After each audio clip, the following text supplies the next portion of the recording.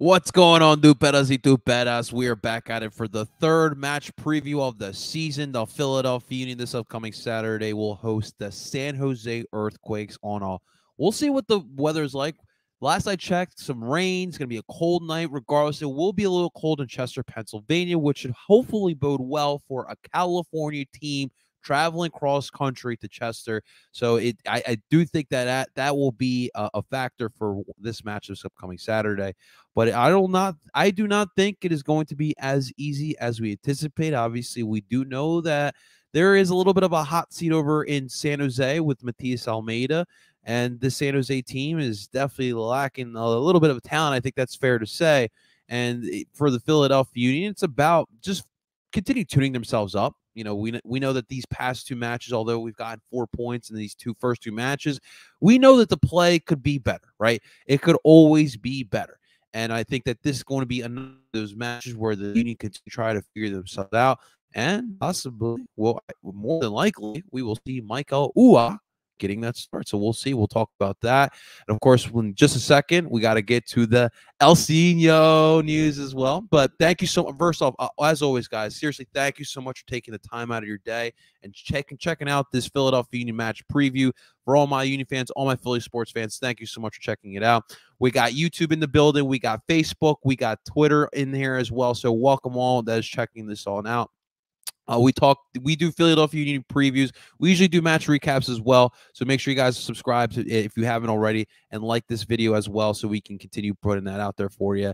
And then, of course, uh, we won't do a match recap again this week weekend. Last weekend I, I, was in Portland, Maine, taking a little vacation. This weekend it is my birthday weekend, so uh, I will be with family and friends. Um, so stay tuned. We might have some match recaps. We we do have the Flyers, we do have the Union, and we have the Sixers on Sunday.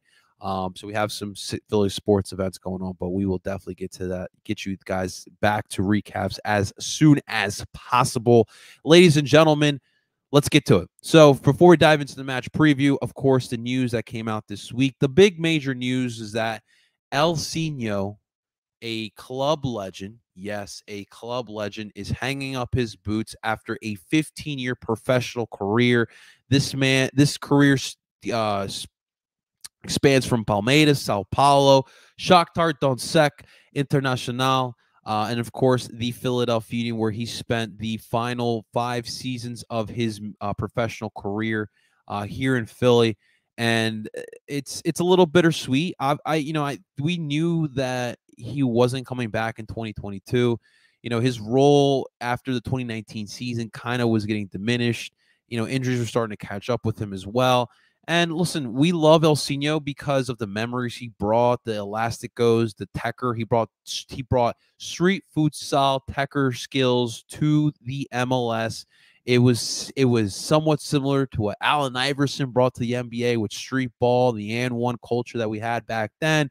It fairly felt like Ilsinho brought that here to the MLS, and it was really fun, right? You during the 2019 season, my first year of covering the club, there was the span of matches throughout that summer of 2019 where, you know, the Union would be down or the Union would be drawn up against a team. And then Ilsinho comes in with 30 minutes left, fresh legs, put him out on that wing. They would switch back to 4 2 3 1 so they can get Ilsinho lined up with some one on one matches. But then teams started bringing on double teams and that really did not do anything and then you got essentially uh you know 10 on 10 on 8 soccer going on on your end and he was either assisting or making some goals uh, he did have 22 goals as a member of the Philadelphia Union in five seasons, so that's not terrible either. But just those memories, um, the Red Bull match, the, the FC Dallas match, um, Chicago, like those are the type of matches that I will never forget.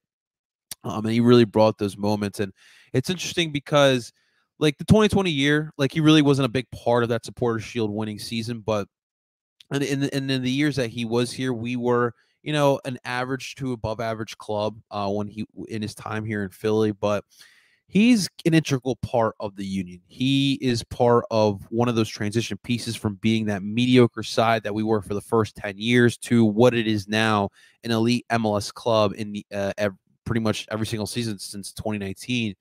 And he really was a big part of it. He brought the he brought some veteran leadership in that in that locker room. Um, this is a guy who's played a lot of European, international European matches with Shakhtar Donetsk. Um, his story with Shakhtar Donetsk is pretty impressive, and obviously, um, playing in Ukraine, I'm sure right now his heart is heavy with what is going on. Um, but he he was a very very very very important piece. He's always going to be a fan favorite. Um, the question being whether or not he should be part of the Ring of Honor. It's a really really good question, and we can throw that that question into the comments. If you guys feel as if he should be a member of the Ring of Honor, let me know. If not, let me know why you don't think either. I think for myself, um, I think you should put him up there. I think that he, his he definitely made a mark on this club uh, he was a fan favorite for a lot of those years. He was important part of, of this this locker room as well. Um, so I think personally he should go on there, but I you could make the argument why he should not be on there. Um, but if we're talking about what, it, like what is the criteria we're looking for by putting a player on the Ring of Honor? Obviously, right now we only have Sebastian Le Toux. Uh, there's been talks of whether we should put Ray Gaddis in there. We know that Ali and Andre Blake are gonna go up there once their careers are over. But what is the criteria we are looking for for those Ring of Honor type of players? Now with Seba, look, dude was the OG. He's the original goat, I would say. He brought a lot of memories to this club. He really set the tone in the early days for what it meant to wear that uniform when no one else really wore it, right? He set the tone and and so that's kind of tough to stop. But I think for for for Union fans, he brought Ilsinho brought a different excitement to the pitch. And I think that we should never forget that. So I think he should be on there, but definitely let me know in the comments. And Ilsinho, thank you for everything you've done. These five seasons have been absolutely spectacular that you were here. And I really hope you stay in the area. From my understanding, he's still in the area, and I hope he still does. He will be, from my understanding, bang the drum um, by the way, I wanted to know your thoughts in the comments. Let me know your thoughts on the drum. Um, I will give my thoughts on the next uh, on the next uni video that we do on this channel. But uh, yeah, definitely let me know. And Ilsinho, we love you. Obrigado. We love you. All right, let's get to the action on the pitch. So uh, after the Union came off of a big three or two one victory over Montreal, we switch now. We come back home in Subaru Park to face off against San Jose Earthquakes. And ironically enough, if we do remember, in the 2020 year uh, during the pandemic, the San Jose Earthquakes game was scheduled to happen right before the pandemic shutdown, and we didn't we didn't have get to play that game. That was supposed to be our home opener that year. We opened up against Dallas in that wild LAFC match. Jakob Glesnes' Rocket, the three three game, um, and then after that game, everything shut down. We did not play against the San Jose Earthquakes. San Jose stayed over there, so now we get to play them now here in this season. And look, for San Jose, they're coming off of a bad loss against the Red Bull. Um, and then they're coming off of a, a, a two last minute goals to draw against a Columbus Crew side who really thought they ran away with it and they walked away with the point. And two goals, by the way, off set pieces. Uh, but look, I, I don't know what to make of the San Jose team. From talking to guys who cover the club, it seems like everything is fine. But when you look at it as an outsider, it doesn't seem like everything is as hunky dory. It does kind of feel like the meme of the dog in the house that's catching fire, and he's saying everything's fine. It's kind of what it looks like. It seems like a burning house over in San Jose, but everyone's like, no, it's good. We're, we're, we're fine. We're fine. We'll make the playoffs. We'll be all right. And that's been the struggle with San Jose. Matias Almeyda came into this league with all the accolades from playing or from managing River Plate, managing Chivas, winning with both of those teams or both those clubs, major clubs on this side of the world. And then he comes into San Jose. And look, San Jose has nowhere near the amount of money that they're they're willing to spend like club clubs like Chivas or River Plate. So that's the first obstacle there. Then you got you're bringing over your system that you might not have the right the players to run in, and you really um, probably haven't had that in these three years that you've been managing San Jose. So that's been another obstacle as well, and and so that's why they have been the club that they have been. You know, a, there there was the one year where they were in a playoff spot for a good amount of the second half of the season, and then they uh, they fail out, they burn out, and they have yet to make the playoffs under Matias Almeyda. and so.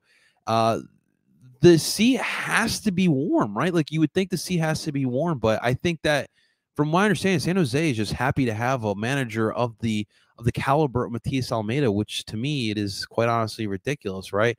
Um, the tactics have been in, in, question as well. Now, from my understanding, they they have been changing it up a little bit. The man on man marking hasn't been uh, predominant this season, uh, but still, the tactics are definitely a little interesting.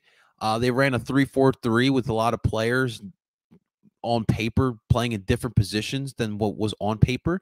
Uh, so it, it, it is it's it's a little bit confusing. It's a little bit confusing when you're breaking down San Jose. It's a confusing side. Now, one thing we do know is we will we will not be able to see Jamiro Monteiro return to Philadelphia after getting traded literally a week before this this season started. He got a red card, uh, and it was a questionable red card, uh, uh or it was the two yellows that he got. Um, but he got a red card, and so that obviously means he will not play in this match, which I'm curious to see how Union fans would react to Jamiro Monteiro returning back to to Philly, but um, we won't have to worry about that. I, I think for myself, the one thing I am worrying about um, is that left side uh, of San Jose. Marcos Lopez, a young uh, fullback who is really, really talented um, from from Peru, does a great job with the Peruvian national team, and he's he's a really good young fullback and we all know uh, what we have at right back right now. Now, obviously, we switched from Olivier Mbaizo to Nathan Harriel, and it looked solid against Montreal. And this is going to be a really good test this week against Marcos Marcos Lopez, who I'm assuming will be the one that's pushing up the attack out in that flank uh, for San Jose. And it'll be a really good test for Nathan Harriel, who I thought he got tested pretty well against Montreal. Uh, on the attack, he looked solid, and he's got the speed, he's got the attacking ability but the problem being with that fullback position, that right fullback position, is the defense, and it, it's it's definitely uh, has been a struggle. Now, San Jose's been a team that has allowed a lot of early goals. That's why they kind of fallen into fall fell to the Red Bull and almost fell to Columbus, allowing three goals. Uh, or sorry, six goals in two game matches is is not it, it's not it doesn't bode well. So defensively, they are definitely flawed. Um, I think that's part to do with uh, some of that man on man that they do run. But you know, for the Union side, I, I do think that you I feel like this is a match where you just let San Jose do what they want and then just let them fall into your trap. And that's when you pounce. I think that you just allow say, a club like San Jose. I, I on paper, this is a much better. San, the Union are a much better team than what San Jose is going to bring into Chester. So I think that the best. I think for the Union, what the best possible uh, game plan is is just allow San Jose to just try to attack as much as possible. Try to wear those guys out. Not per se park the bus, um, but just let them try to do what they want to do and let them tire themselves out. And then at, at, at, a certain point, you are able to pounce and you can hit them on a counterattack um, or catch them while they're slipping, right? And so I, I, I think it's going to be interesting to see um, what the uh, Union attack will look like. So let's get to the lineups real quick because I want to break down some of what I want to see this upcoming Saturday. So I think the back five with Andre is will stay the same. I think it'll be Andre, obviously Kai Wagner, Elliott, and Glesnes. I think Harriel gets to start yet again uh, from that back line. The midfield, I also do think will stay the same from Leon at the left, and Brujo at the six, Ali at the right, and Daniel Gazdag at the tip of the diamond, with your two forwards being Mikael Uhre and I think you will uh, you will also see Sergio Santos getting the start here. A quick reminder that Julian Carranza received a red card against Montreal, so he will not be playing in this match for the Union. So I think I think we'll see Sergio and uh, and Uhre getting in the start here um, for the Union. So I, I think that I I I think that Uhre is it's going to be a good. It's going to be the first star for him, so we're going to want to see a lot from him. But I think that the one thing that I noticed in that match against Montreal, the man's got pace. The man knows how to make runs. These were things that we were lacking over the past couple seasons. And the killer instinct, I do think will come eventually. We'll see that eventually. Um, but I, am just excited to see what he can do for. Full, I hope he plays 90. I hope he does play the full 90, which I don't see why he wouldn't. Um, but I, I, think that's going to be an interesting, uh, interesting to see. And we'll see how the uh, how San Jose is able to defend him. And for San Jose, they don't have a lot of tape on Mikael Uhre. Now, you can look at some of the Brøndby stuff. Uh, you can look at the couple minutes they played uh, against Montreal, but it doesn't really be what is probably going to happen for 90. I mean, Jim's had a full week to try to prepare for San Jose, and I'm sure he's got a couple uh, a couple stuff up his sleeves, and it'll be very interesting to see. But I, I do think that again, the game plan needs to be being able to sit back, allowing San Jose to wear themselves out, just being the smarter, beating San Jose with your brain instead of your bronze. We know the Union can do honestly both, but I think for this type of matchup, it, I think that's what's going to bode well. We're going to see Jeremy Ebobisse again. We haven't seen him since the Portland days. I remember the uh, MLS is back tournament, seeing Jeremy Ebobisse. Uh, so that'll it'll be fun. But I honestly, when I look at this matchup, I, this has got three points for the Union written all over it. Again, it's the MLS cross country or traveling in general is just a pain in the ass. It's not like in England where you're traveling from from Manchester to London. You know, it's not that crazy. It's not that crazy uh, travel. Um, and for San Jose, it's, it's going to be a rough going from California to Philly, and then going up against a really good side in Philly.